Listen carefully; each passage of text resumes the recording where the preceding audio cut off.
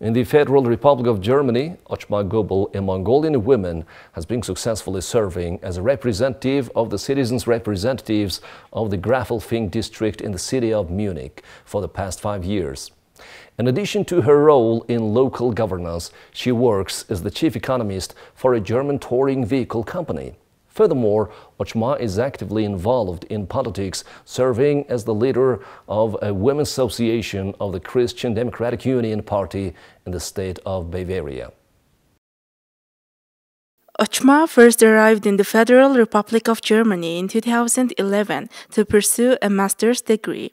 Upon her arrival, she became the member of the Christian Democratic Union Party. Subsequently, in 2020, she participated in the local elections of her state, where she ranked second out of 144 candidates and was elected as a representative of the citizens' representatives. This serves as an exemplary illustration of Mongolian women excelling in their professional endeavors regardless of their location or circumstances. My primary expertise is in international relations. Having graduated from the School of Foreign Relations and Politics, I proudly became the first Mongolian woman to secure a political mandate in Germany, where I am currently employed. Additionally, I serve as the vice president of the German Mongolian Association, which constitutes another aspect of my public service. Balancing these responsibilities is undoubtedly challenging, especially considering that I am a young mother with four children ranging from newborn to 10 years old. Her husband's name is Christoph Gobel, who serves as the regional governor of Munich.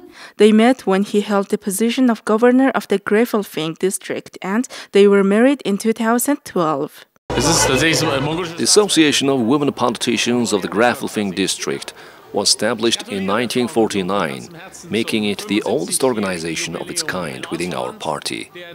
Since its inception, this association has witnessed and contributed to the political and social changes and development that have unfolded in Germany as well as across Europe, particularly during the Renaissance period following the Second World War. It is a source of pride that the Women's Association is dedicated to learning from the lessons of the past and nurturing politicians who will serve as role models for the future. Therefore, I express my hope that whoever comes after us continue to produce wise leaders who will guide us forward. Dieser Gesellschaft verschreiben.